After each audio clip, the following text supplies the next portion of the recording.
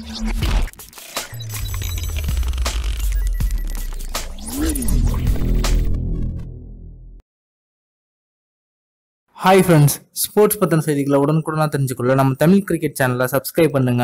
இந்த இரண்டாயிரத்தி பத்தொன்பதாம் ஆண்டுக்கான ஐபிஎல் போட்டி இருபத்தி மூன்றாம் தேதி வந்து தொடங்குது. இதுல முதல் போட்டியில பாத்தீங்க அப்படின்னா சென்னை சூப்பர் கிங்ஸ் அணியும் ராயல் சேலஞ்சர்ஸ் பெங்களூர் அணியும் மோதுறாங்க. இரண்டாவது நாள்ல பாத்தீங்க அப்படின்னா மும்பை இந்தியன்ஸ் அணி மற்றும் டெல்லி கேபிட்டல்ஸ் இந்த இரண்டு அணியும் மோதுறாங்க. இந்த இரண்டு அணியிலையும் களத்துல இறங்கி விளையாட போற பதினோரு பேர் கொண்ட அணியை தான் நாம இப்போ பார்க்க போறோம். இதுல மும்பை இந்தியன்ஸ் அணியில பாத்தீங்க அப்படின்னா ரோஹித் சர்மா வந்து கேப்டனா இருக்காரு. அவர் தான் வந்து ஓப்பனிங் வீரராக களமிறங்குவார். அவர் கூட பாத்தீங்க அப்படின்னா தென்னாப்பிரிக்கா அணியின் சேர்ந்த டிகாக் வந்து களமிறங்குவாங்க இவங்க இரண்டு பேர் தான் வந்து துவக்க வீரர்களாக களமிறங்குவாங்க அடுத்தது ஒன்றொன்று பாத்தீங்க அப்படின்னா இஷான் கிஷன் களமிறங்குவாரு நான்காவது வீரரா சூரியகுமார் யாதவ். ஐந்தாவது இடத்துல யுவராஜ் சிங். ஆறாவது இடத்துல ஹார்திக் பாண்டியா. அடுத்து Pollard Krunal Pandya Ben Cutting Bumrah மற்றும் மலிங்கா. இந்த ஒரு பதினோரு பேர் கொண்ட அணியோட தான் மும்பை இந்தியன்ஸ் அணி வந்து களமிறங்குவாங்க இதுல வெளிநாட்டு வீரர்கள் நாலு பேர் யார் யார் அப்படின்னு பாத்தீங்கன்னா Quinton de Kock Kieron Pollard Ben Cutting மற்றும் மலிங்கா. இவங்க நாலு பேர் தான் வந்து வெளிநாட்டு வீரர்கள். அதே போல டெல்லி கேபிட்டல்ஸ் அணியில பாத்தீங்க அப்படின்னா ஸ்ரேயஸ் ஐயர் தான் வந்து கேப்டன் இருக்காரு. அந்த அணியில எந்த ஒரு பதினாறு பேர் கொண்ட அணியோட இறங்குவாங்க களமிறங்குவாங்க அப்படின்னு பாத்தீங்க அப்படின்னா ஓப்பனிங் வந்து ஷிகர் தவான் மற்றும் பிருத்திவ் ஷா. இவங்க இரண்டு பேர் வந்து களமிறங்குவாங்க.